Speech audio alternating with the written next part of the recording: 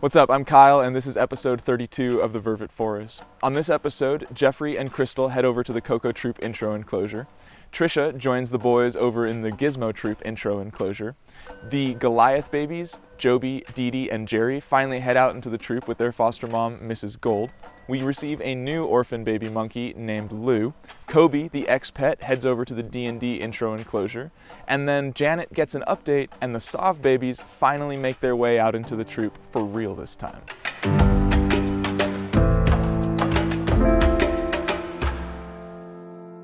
The love affair between Trisha and Jeffrey has finally come to an end, and it's all Christal's fault.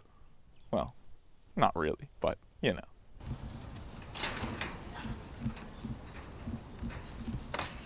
Hi.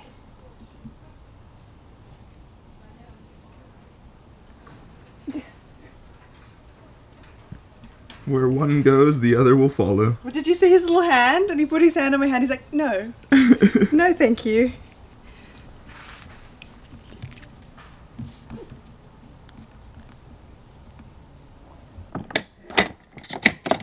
Jeffrey and Christal left Disneyland and they headed over to the Koko Troop intro enclosure.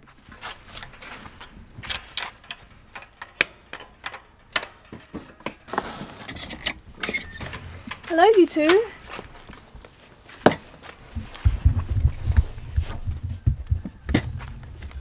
Hi, package deal babies. Oh, hi. Where are you?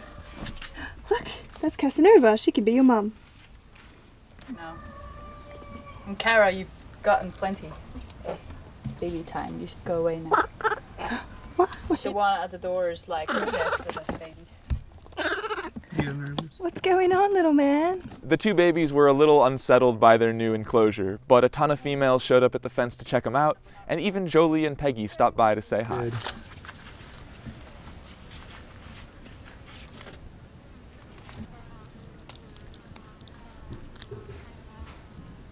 I don't think I've even seen this baby.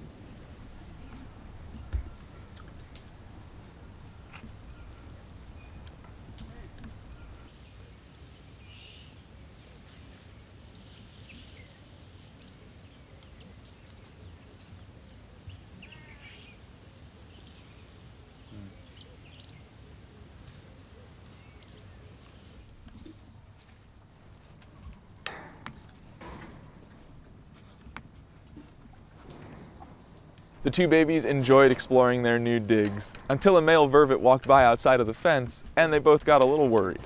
Don't you worry. I got you back. Aw. You're peeing on the thing? It's alright. Boys are not that bad. They're not that great either. But, But after he left, everything went back to normal. And Christal and Jeffrey both seemed pretty pleased to be in their new home. yeah. They're like out. Brownie, you're too old to have baby. Hi. It might break her. Trisha joined Benjamin, Dylan, and Pywaket over in the Gismo Troop intro enclosure.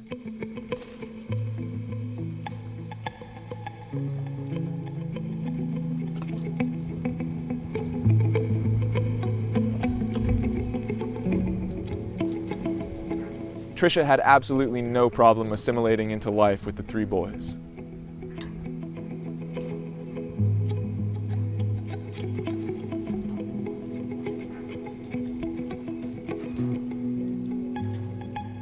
And she took very quickly to the adoration of her foster mothers.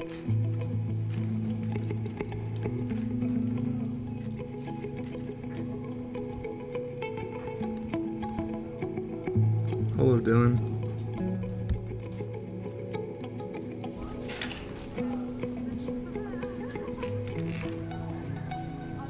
Dylan.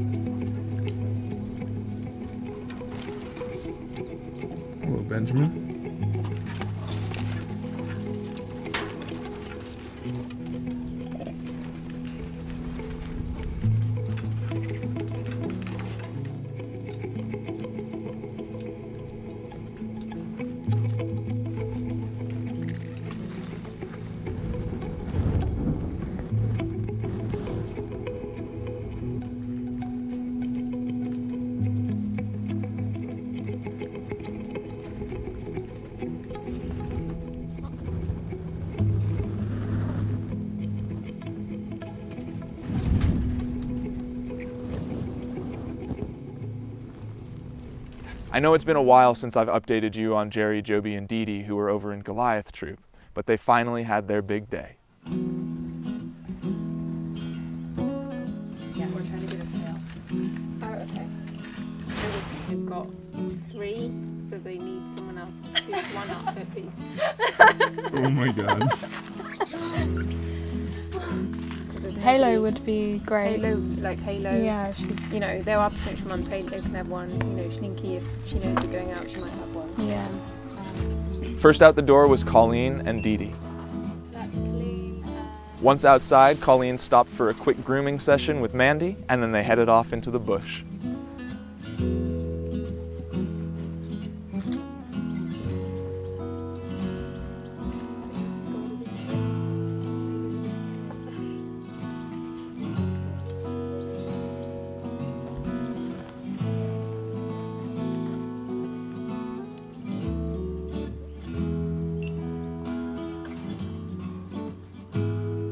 But Dee Dee didn't stick with Colleen for very long. She headed back over to the intro enclosure fence and paced back and forth by the door. She was probably wondering why the heck Mrs. Gold and all of her friends were still inside the intro enclosure when she was out here with all the big monkeys. Staff member Nellie then opened up the door. Mrs. Gold scooped Jerry up onto her belly, and Joby and Dee Dee followed them close behind as they ran out into the main enclosure.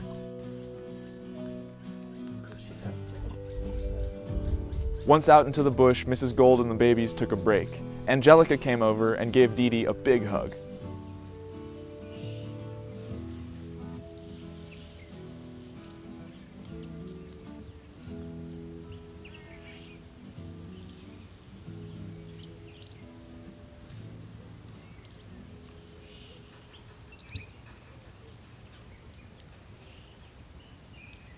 They then ran deeper into the bush and were joined by some of the juveniles.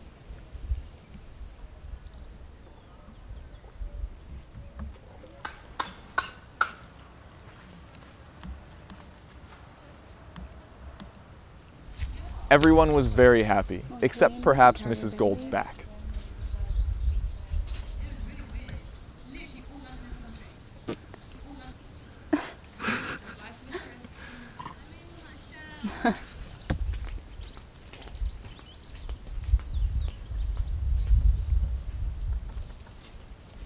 No matter how hard the other females tried to interact with the babies, Jerry, Joby, and Dee Dee stuck to Mrs. Gold like glue.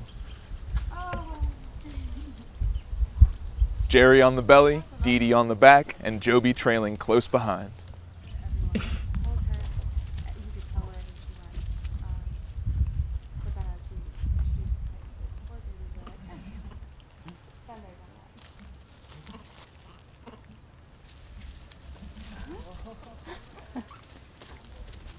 About a day after the release, we received a new orphan baby vervet monkey. She has been named Lou. I like her patchy. Have you seen her sides yet? no, this is the first time I've seen her. Gets better. Oh yeah, it does. Hello, little patchy lady. It was the only way to get the grass seeds out, and they were making her bleed. That's what Bernie said. That's exciting. What's wrong with her eyes? Cause she got beaten up? She got beaten She got in a fight and she lost. Oh man, with I a believe the fight was with a rock and a small child. Lou was found at a local garbage dump, and she was lying beside her dead mother while a group of kids stood around throwing stones at them. Luckily, some compassionate people stepped in and yelled at the kids, grabbed the monkey, and called us up.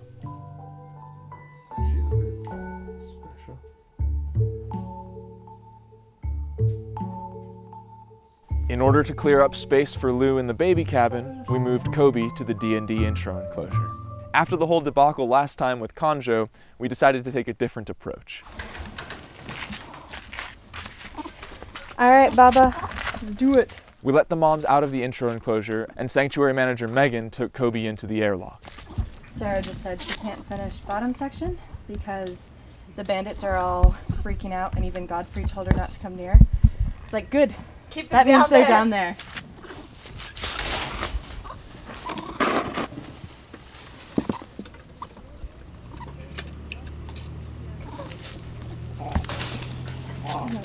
But Kobe did not want to let go of Megan. Mm hmm Reba, hey, hey. Kobe, Kobe. Oh, Kobe. Bad timing. Do you want to maybe bring him in completely, hand him to me through the fence? Yeah, Then I I can can get over him. him Poopa, come here. She finally got him into the enclosure, Tori distracted him on the fence, and then Megan snuck back out of the gate. Got a little bit of background music.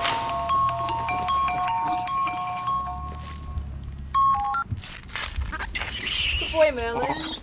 Merlin and Conjo came over to say hi, but Kobe wanted nothing to do with them. You guys mind just stepping back a little bit, please? Thanks. Merlin's such a good monkey friend.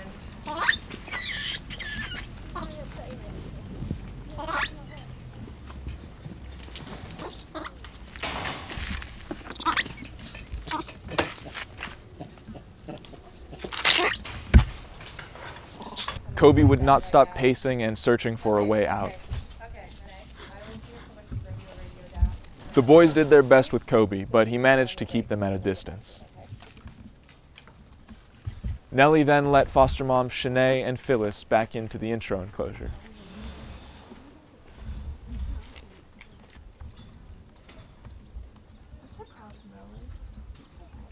Shanae and Phyllis had a brief moment of confusion where they couldn't decide who was going to groom whom.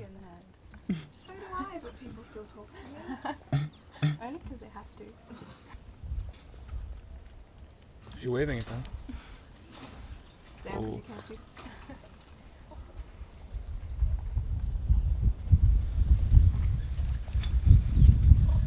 While I was filming Shanae and Phyllis grooming each other, Conjo took a turn trying to play with Kobe. And he was kind of successful, and afterward he had a lot to say about it.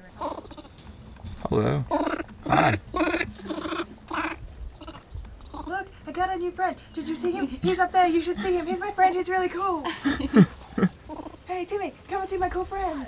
After this, Kobe calmed down a bit and let the other boys approach him, but his demeanor was still a little bit more aggressive than playful. If you ask Gay Mother, she'd probably say I'm bald. Whoa.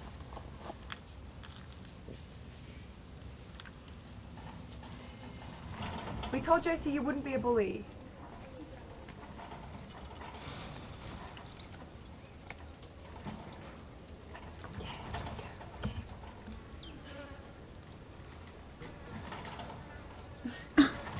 He kind of wants to play, but also there's some anger in that face. Yeah, That's totally. A total play face. The slapping is a little And I'm not aggressive. sure about this.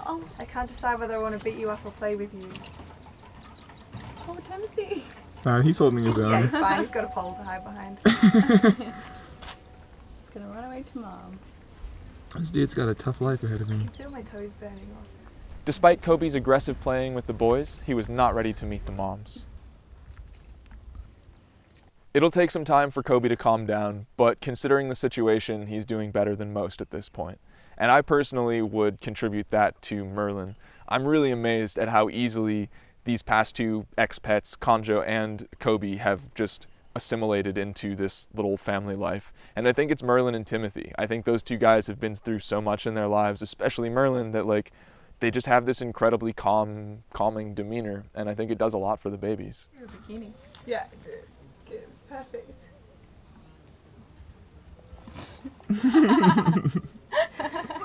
what is going on right now?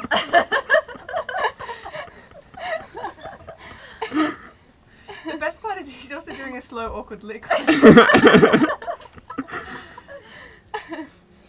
Kobe's like, ooh, I kind of want to, I kind of want to get in on Yeah, We had another big release as well. The Saav babies, Norah and Shemesh, finally got to make it out into the troop with their foster moms, Holly and Priya. And this time it was legitimate.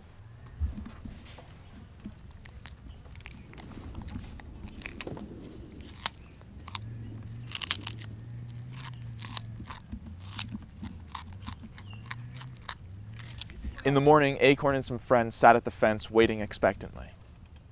Cute, cool as a cucumber. Yeah. I think I there's blood pouring out. I'm taking the rest of the day off.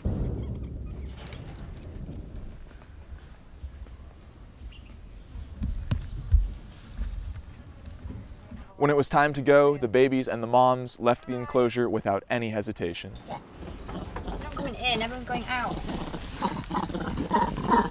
No, no, no, no. You are far too big to let go.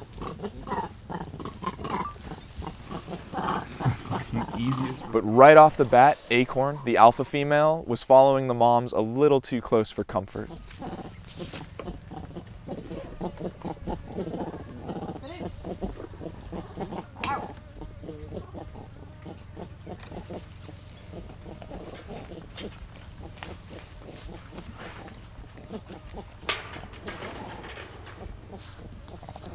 It wasn't too long before a fight broke out, and Norah was actually stolen from Holly by Acorn. Despite the fact that Acorn never wanted to come into the intro enclosure, it seems she actually did want a baby. Priya managed to hang on to Shemesh, and she hid in the bushes.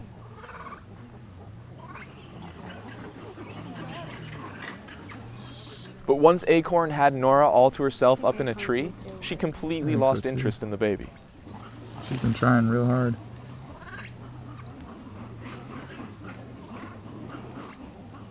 Jump for it? Poor Norah was up in that tree shouting for help from Holly while Acorn just sat there with her back turned.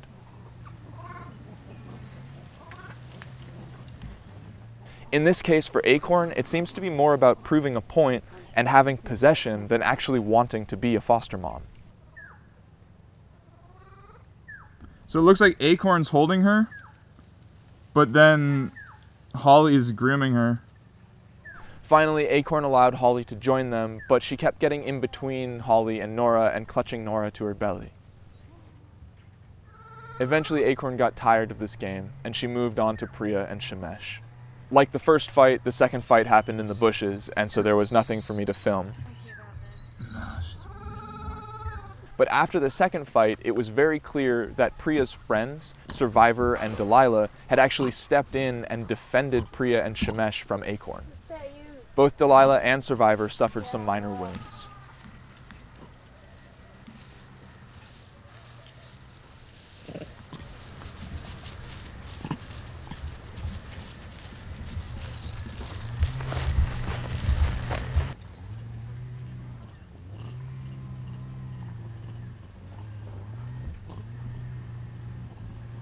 Why is she walking so weird with him? For the next half hour or so, you could see Survivor and Delilah strutting around, guarding Priya and Shemesh, chattering, recounting tales of their heroic battle.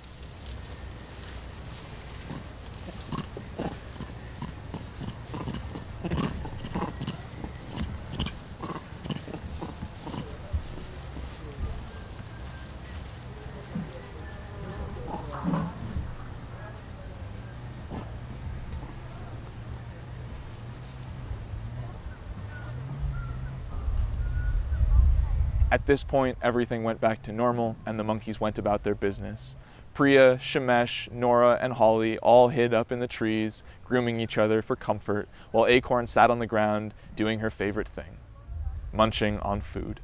And finally, over in the Scro intro enclosure, little Janet is happier than she has ever been with her foster mom, Polar.